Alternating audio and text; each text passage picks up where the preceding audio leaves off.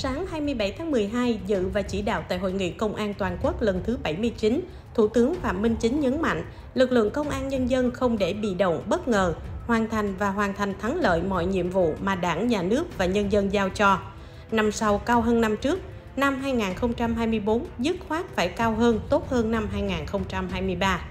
Tại hội nghị, thay mặt lãnh đạo đảng nhà nước, Thủ tướng Phạm Minh Chính ghi nhận biểu dương những nỗ lực cố gắng và thành tích to lớn của lực lượng công an nhân dân đã đạt được trong năm 2023.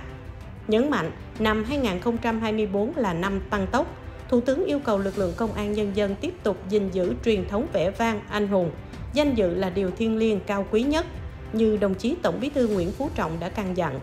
Đồng thời chỉ đạo một số nhiệm vụ trọng tâm lực lượng công an nhân dân cần tập trung thực hiện tốt trong thời gian tới. Trong đó có nhiệm vụ tiếp tục gương mẫu đi đầu trong thực hiện các nghị quyết chỉ thị kết luận của Trung ương Đảng, Quốc hội, Chính phủ về công tác bảo đảm an ninh trật tự, về xây dựng chỉnh đốn đảng.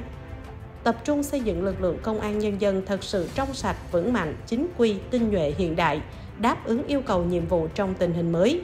Coi đây là nhiệm vụ trọng tâm then chốt của cả nhiệm kỳ và những năm tiếp theo.